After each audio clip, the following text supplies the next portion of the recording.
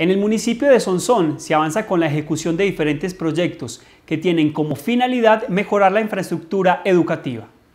Dentro de los proyectos que se han ejecutado durante los últimos meses se encuentra la construcción de una aula de clase en la vereda Manzanares Centro.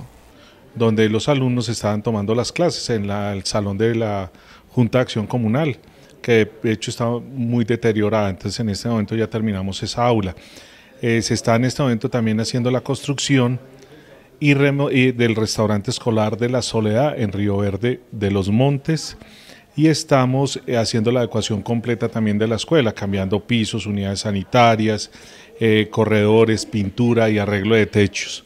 En la actualidad, también se avanza con las obras de construcción del nuevo colegio en el corregimiento Laranta, en el cual el grupo Argos y el municipio de Sonsón invertirán cerca de 6 mil millones de pesos. Tuvimos visita técnica la semana pasada ya y ya nos damos cuenta que a finales de abril eh, estamos entregando esta sede educativa para la ANTA donde son más de 800 alumnos los que van a ser beneficiados. Es de anotar que el municipio de Sonsón cuenta con alrededor de 100 planteles educativos, varios de los cuales presentan serias deficiencias en su infraestructura. Durante esta administración se han hecho intervenciones directas a 34, 35 de estos. Aspiramos que en este año se hagan 15 intervenciones. De pronto no van a ser las mismas del año pasado, pero van a ser mucho más onerosas, pues mucho más grandes. En este momento estamos priorizando todo el tema del agua, que se va a hacer en Guayaquil también de Río Verde.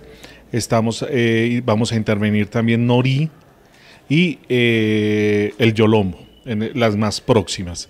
Y se va a iniciar, ya está contratado con la gobernación de Antioquia, nos hizo un aporte de 200 millones, el municipio hizo un aporte de 40 millones, se montó ya la licitación y se adjudicó para el arreglo de las unidades sanitarias de la normal, de la, de la industrial y el arreglo completo de la sede del Río Arriba. Eso ya está adjudicado al contrato. En este momento ya se montó el, la, licita, la licitación para la interventoría y esperamos que a finales de febrero se esté dando inicio a estas obras.